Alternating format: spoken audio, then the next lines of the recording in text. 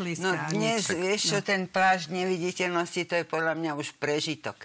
Dnes, keď máme rúška, tak sme prakticky neviditeľní, alebo nás nikto teda nespozná.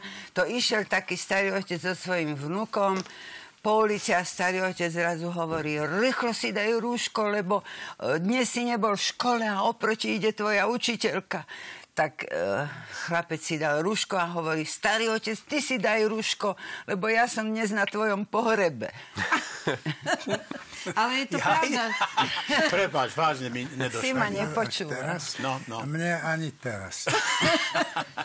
rúško je dobrá vec, lebo je. ja napríklad idem po ulici a mám rúško a mám pocit, že môžem spievať alebo vykrikovať hocičo a že to nikto nepočuje. Ale počuje to. Poč- nie je to dokonca ma aj poznajú.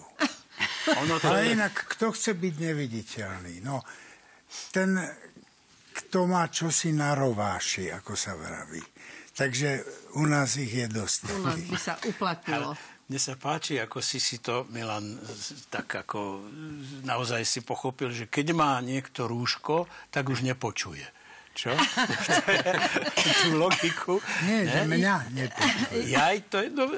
Ale ja to nechcem politizovať, naozaj. Však, ale, poznáte, ale ja si myslím, že princíp neviditeľnosti objavil už Fico, keď hovoril, bude diálnica Bratislava Košice do roku 2010 a nevidno ju. No. Nikde nič tu nič. No.